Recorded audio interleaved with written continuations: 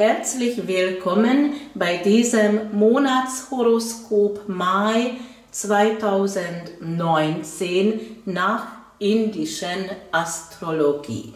Die indischen Astrologen berücksichtigen die Präzession und berechnen ihren Horoskopen anderes.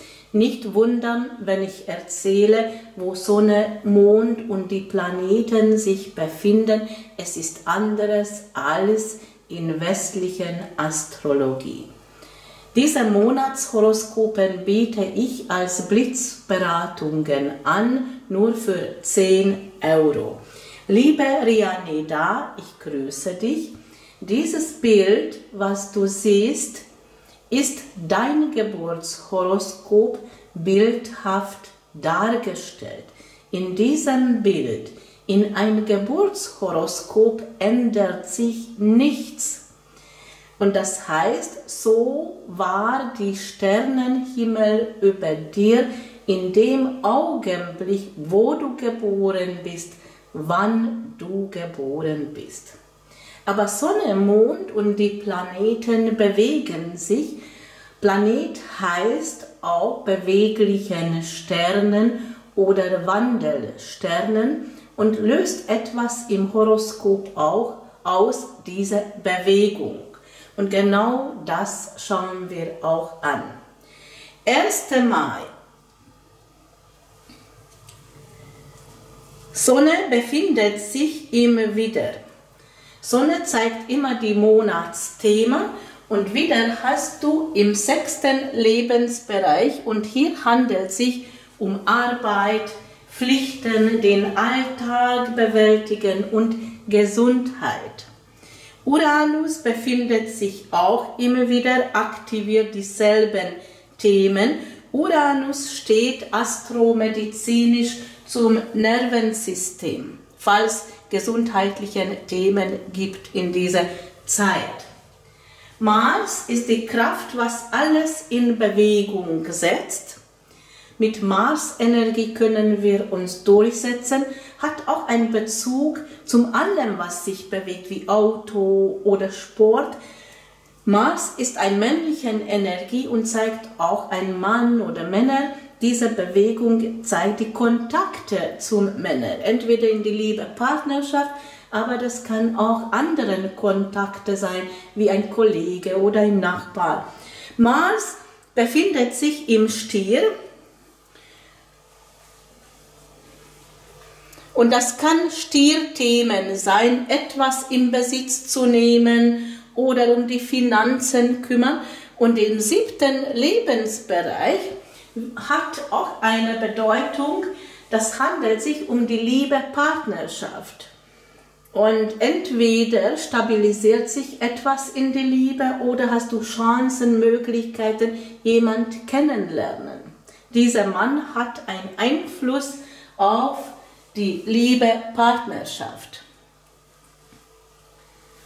Jupiter vergrößert etwas Jupiter schenkt uns Optimismus. Jupiter ist die große Glücksplanet und hat auch mit Gerechtigkeit oder einer rechtlichen Lage auch was zu tun.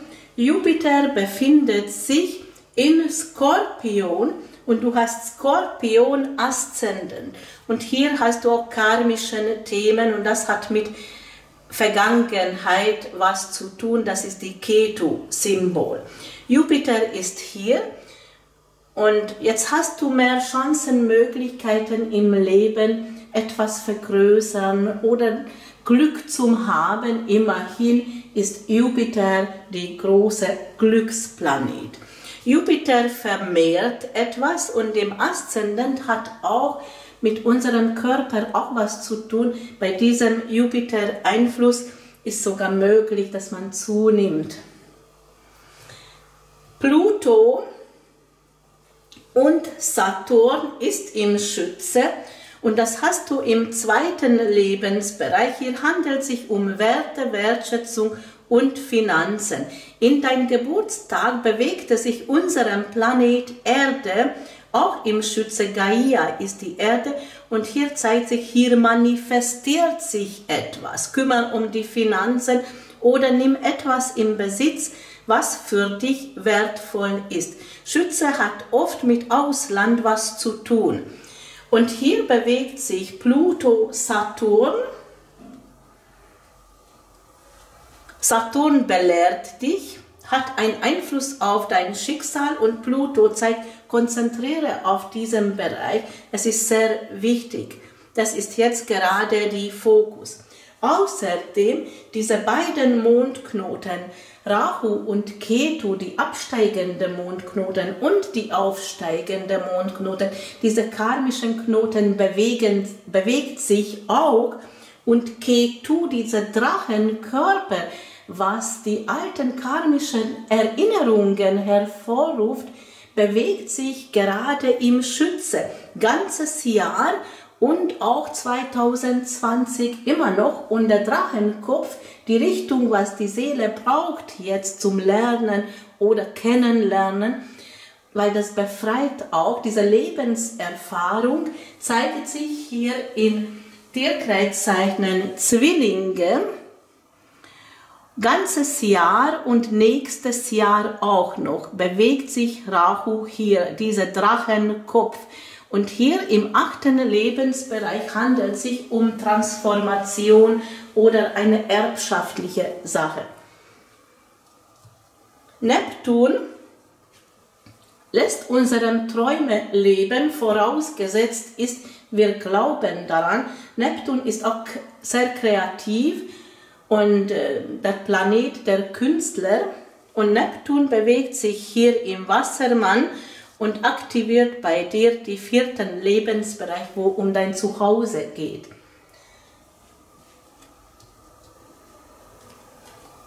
Merkur, Venus und Mond ist in Fischen und hier im fünften Lebensbereich aktiviert Themen, was mit Kindern was zu tun hat. Das kann auch Schwangerschaft bedeuten oder Enkelkind, alles was mit Kindern zu tun hat außerdem die Erinnerungen an unsere eigenen Kindheit, das innere Kind oder Lebensfreude, schöpferische Energie. Mond hat einen Einfluss auf unsere Gefühlen, beeinflusst unseren Alltag. Bei Venus zeigt sich entweder weiblich, eine Mädchen zum Beispiel, wenn das um Kinder geht, und Merkur ähm, handelt, also bei Merkur-Energie haben wir Handlungen oder Gesprächen, Gesprächen mit Kindern oder über Kinder. Merkur steht auch zu die Zeit für Kindheit und Jugend. Möglich ist es auch, dass du hier in dieser Zeit Erinnerungen hast an deine eigene Kindheit. 2. Mai steht Mond mit Venus in Verbindung. Und das zeigt auch deine Kreativität oder bei Venus Energie auch die Liebe, die Lebensfreude und das hat einen Einfluss auf deine Gefühle. 3. Mai steht Mond mit Merkur in Verbindung, das heißt, die wirken zusammen. Und hier handelt es sich um Kinder oder Jugend oder Gespräche über Gefühle. Mond symbolisiert auch Mutterempfängnis, also das kann auch Mutterthemen bedeuten. 4. Mai ist Neumond, exakt im 23 Uhr 46 Minuten im Widder, das heißt, Mond übergeht im Widder, Sonne und Mond, die beiden Lichter treffen sich hier, aktiviert Themen Arbeit, Gesundheit Neumond bedeutet Rückzug, Nachdenklichkeit, Meditation. 5. Mai ist Merkur im Widder. Merkur verlässt die Fischen, übergeht im Widder und aktiviert Themen, was die Arbeit oder Gesundheit betrifft. Bei Merkur Einfluss handeln wir oder haben wir Termin oder unterschreiben wir einen Vertrag das kann Arbeitsvertrag sein, Vorstellungsgespräch oder Arzttermin. 6. Mai übergeht Mond im Stier.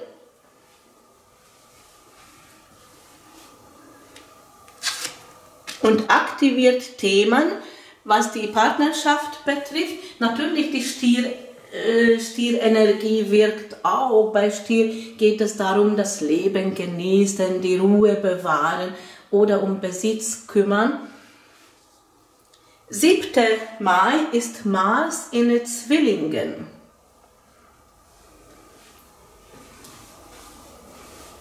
Mars übergeht in Zwillingen Und das kann bedeuten, wie wichtig das ist, in deiner Kraft zu bleiben und alles loslassen, verabschieden, was diese Kraft raubt. Kann auch bedeuten, dass du ämtliche Themen hast oder erbschaftlichen Themen und du brauchst die Kraft, dich da einzusetzen oder hast du Kontakt mit einem männlichen Person. Bei achten Lebensbereich handelt es sich auch um Sexualität und ähm, das hat auch mit Mann zu tun, Mann und Frau. Natürlich, das kann auch ein Thema sein. 8. Mai steht Mond mit Mars in Verbindung und das wird gemeinsam und bei Mondenergie Mond übergeht, genau, Mond übergeht in Zwillinge und steht mit Mars in Verbindung. Das aktiviert Gefühle Natürlich ist das möglich, dass du Wut hast und kannst deinen Gefühlen nicht in Zaun halten, weil Mars wirkt und natürlich Mars ist sehr stürmisch, aber dann achte auf deinen Gefühlen, dass du die Ruhe bewahrst oder hast du Gefühle für einen bestimmten Mann oder er hat Gefühle für dich und kommt zum Zärtlichkeit. Im selben Tag steht Merkur mit Uranus in Verbindung, eine Überraschung oder unerwartete Ereignisse, Gespräch oder Termin oder durch dieses Gespräch ändert sich etwas im Beruf oder im Gesundheitszustand. 10. Mai ist Mond im Krebs. Mond fühlt sich sehr wohl im Krebs, weil herrscht über Krebs. Thema ist Reisen, Ausland, Auslandskontakte, Spiritualität. 11. Mai, Venus übergeht ihm wieder. Und das bedeutet, das hat einen Einfluss auf deinen Alltag mit Venus. Kann auch eine andere Frau oder Frauen sein, wo du Begegnungen, Gespräche hast über Beruf oder im beruflichen Umfeld oder kann auch ein Arzttermin sein oder Arzttermin bei Frauenarzt. Venus ähm, bringt etwas in Harmonie oder verschönert etwas und das ist auch möglich, dass du im Arbeitsplatz diese Harmonie brauchst. Also das sind die Themen, was Venus auch hier auslöst oder Kreativität in die Arbeit. 12. Mai ist Halbmond im Krebs. Halbmond ist immer Spannung und das sind Gefühle wie Unsicherheit, Nervosität, Stress, Spannung. Dieser Halbmond ist exakt um 2 Uhr 12 Minuten hier im Krebs. Themen sind Auslands, Auslandskontakte, Reisen, Prüfungen, Spiritualität. Es fehlt die Erde, es fehlt die Sicherheit, Stabilität oder die Finanzen dazu. 13. Mai. Mond übergeht im Löwe. Das ist eine zunehmende Mondphase. Das muss auch noch dazu berücksichtigen. Bei einer zunehmenden Mondphase nimmt etwas zu oder wir können etwas vermehren oder bei abnehmender Mondphase etwas loslassen, von etwas verabschieden. Aktiviert hier Themen, Ziele, Zielsetzung, Berufung, Anerkennung. 15. Mai befindet sich Mond im Jungfrau. Jungfrau-Energie kommt auch noch dazu, bereinigen etwas, etwas in Ordnung zu bringen. Themen sind Freundschaften oder Hoffnungen und Wünsche. Und hier hast du die Mars-Energie im Geburtshoroskop und das kann auch ein bestimmter Mann sein, dass du hier spürst es auch, das sind deine Sehnsüchte und Wünsche. 16. Mai ist Sonne im Stier, kommt ein neues Monatsthema. Und hier ist auch die Lebensenergie, die Lebenskraft. Und das ist die Stierenergie, das Leben genießen, zur Ruhe kommen, um die Besitz kümmern. Und natürlich siebte Haus spielt auch eine Rolle. Und das ist die Liebe, Partnerschaft. 17. Mai ist Mond im Waage.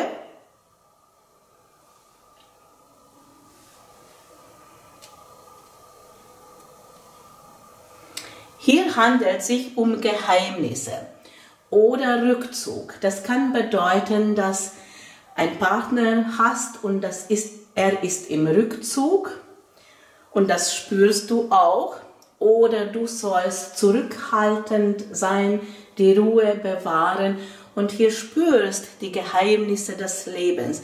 Neptun ist hier in dein Geburtshoroskop und lässt deine Träume leben. Visualisiere das. Das ist auch Rückzug und Meditation, kannst diesen Tag dazu nützen. 18. ist Vollmond im Waage beleuchtet diese Thematik, Rückzug, Geheimnisse, die Ursache nach etwas oder karmischen Themen.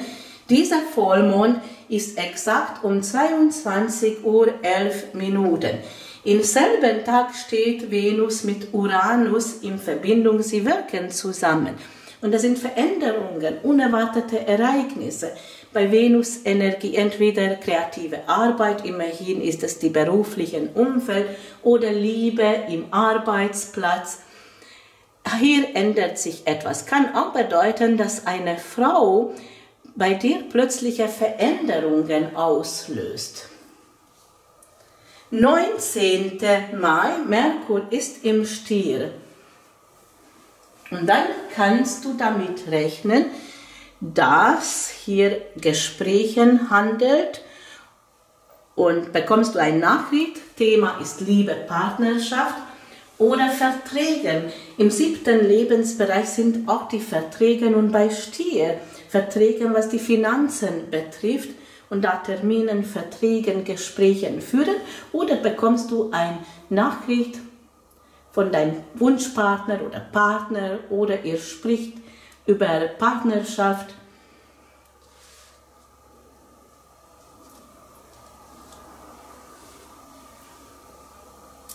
Mond ist im Skorpion, 19.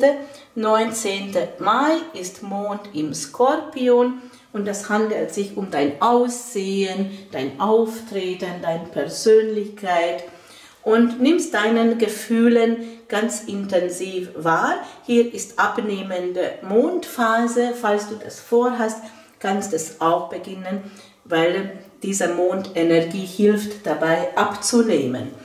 20. ist Mond und Jupiter in Verbindung. Sie wirken zusammen und das heißt, Jupiter vergrößert etwas. Und äh, das ist möglich, dass wir alles emotional wahrnehmen und übertreiben wir etwas.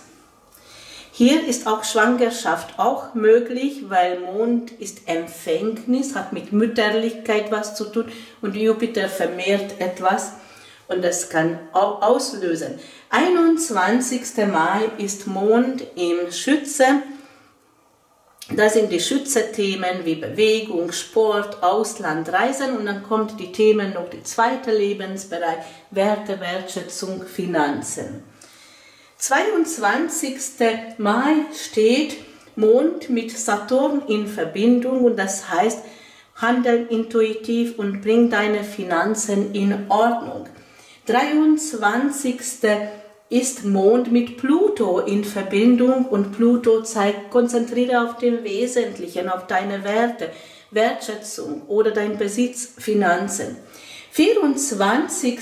ist Merkur im Stier in Diamant und das heißt, es klärt sich etwas auf, beschleunigt etwas. Thema ist die Partnerschaft. Im selben Tag übergeht Mond dann im Steinbock und aktiviert Themen Kontakte mit Verwandten, Nachbarn oder Lernen etwas, bedeutet auch Medien. 26. ist Halbmond in Wassermann, das heißt Mond übergeht im Wassermann. Halbmond bedeutet Spannung, Nervosität. Das kann bedeuten, dass du alles so hektisch empfindest und ziehst du dich zurück in deinen eigenen vier Wänden. Kann auch bedeuten, dass du kleine Reparatur hast im Haus oder Wohnung. Dieser Halbmond ist exakt im 17 Uhr 34 Minuten. Es fehlt die Feuerelement, die Kraft und die Mut. 27. steht Mond mit Neptun in Verbindung, aktiviert Träume. Das kann bedeuten, dass du einen Traum bekommst und das hat eine Bedeutung oder du sollst deine Träume verwirklichen. Lebensbereich ist die vierte Lebensbereich dein Zuhause, dann kommt die Wassermann-Energie auch dazu, deine Ideen verwirklichen. 29. Mai ist Mond in Fischen, aktiviert Themen Kinder, Kindheit, Lebensfreude, schöpferische Kraft, Kreativität. Und 31. Mai ist Mond im Widder und Thema ist Arbeit, und Gesundheit. Liebe Rianeda, so könnte ich dein Monatshoroskop beschreiben.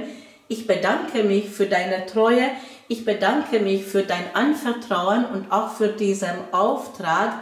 Ich wünsche dir alles Gute und alles Liebe von Dendera.